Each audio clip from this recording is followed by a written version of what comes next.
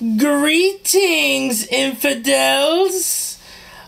I am Varshin Ali B. Abu Abagdati, and I am taking over for the Vews today. I will be substituting for the Vews for this video. He will be back on the next video, so don't you worry, the Vews has not gone anywhere. He just um asked me to do this because this is up my alley. Okay? Assalamu alaikum, infidels. Um okay, there was a pipe bomb explosion in the subway today, injuring four people. Yeah. Okay, Manhattan. A man with a pipe bomb strapped to his body with Velcro and zip ties set off the crude device in the subway near Times Square on Monday, injuring him and three other people at the height of the morning rush hour. That is very elementary if you're going to do something like that. You got to be sure you're very um on point with this. Um all four were being treated for non-life threatening injuries in what the mayor and police labeled an attempted terror attack. The explosion happened in Long Island Underground, no, Long Underground Passageway that runs a full city block under 42nd Street between 7th and 8th Avenues.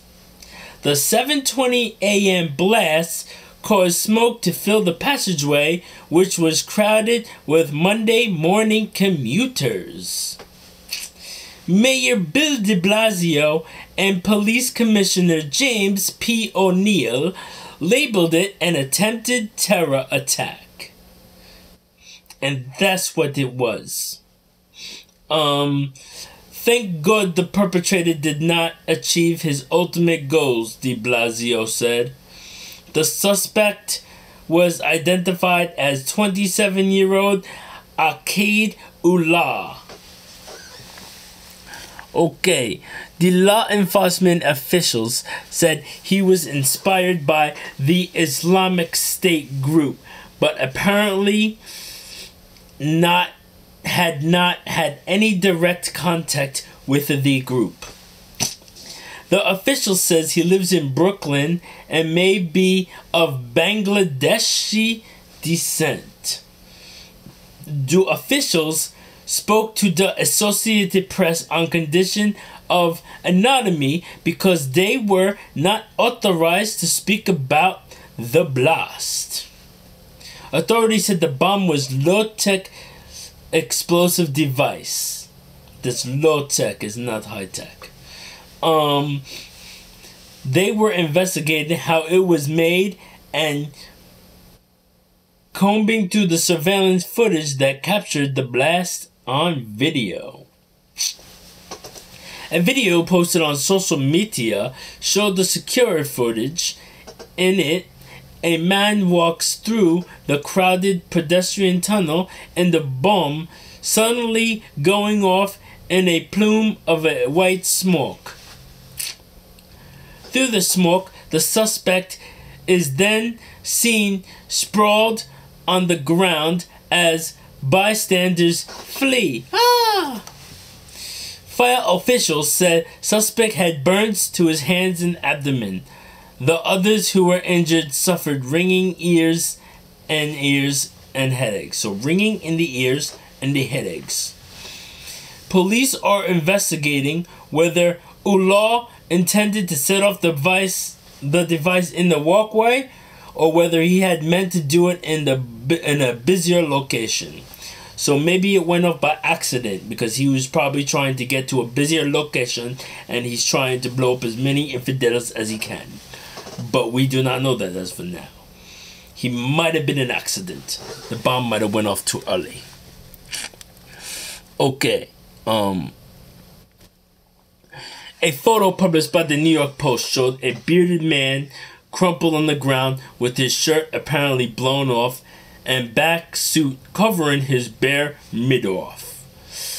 A police officer is holding the man's hands behind his back. The explosion triggered a massive response by police and firefighters both above and below ground, tangling subway and bus device by the nearby Port Authority bus terminal.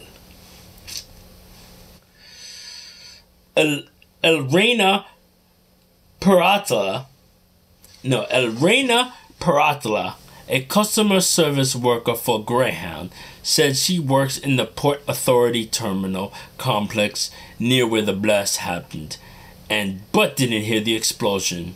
Must be deaf. I don't know. Um, we all we could hear is the chaos. She said.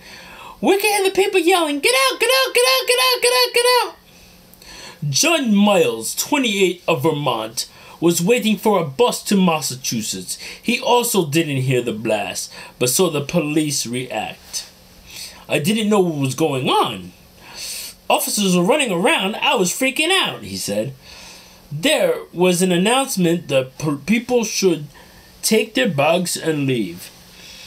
They didn't incite panic. It was fairly orderly. Orderly. Okay. New York has seen its share of terror attacks in recent years. On October 31st, a man drove a rented truck on a bike path in the World Trade Center, killing eight people.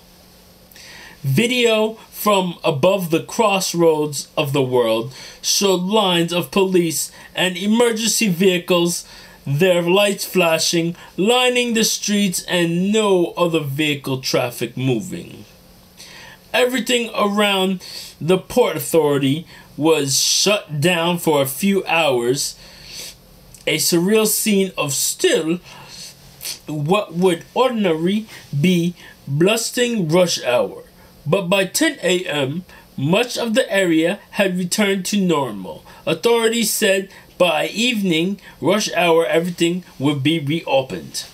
New Jersey transit buses headed to the Port Authority were diverting to other locations. NJ Transit said buses taking passengers to Syracuse and Hoboken, where they could take trains into the city. White House press security Sarah Sanders tweeted that President Donald Trump had been briefed on the explosion. Okay. That is all, um, infidels. Okay. Yes, so now they have the guy in custody and he's going to jail on a failed tele attack. So now, um, the Vews News will be back with you on the next video. But I am Varsin Ali B Abu Abakdati. And I am all for the work of Allah and the Prophet Muhammad, peace be upon him. So please subscribe to his channel and hit the notification bell because Mavuz is crazy and he gets some videos taken down because people get butthurt out there. And message you to people of Allah,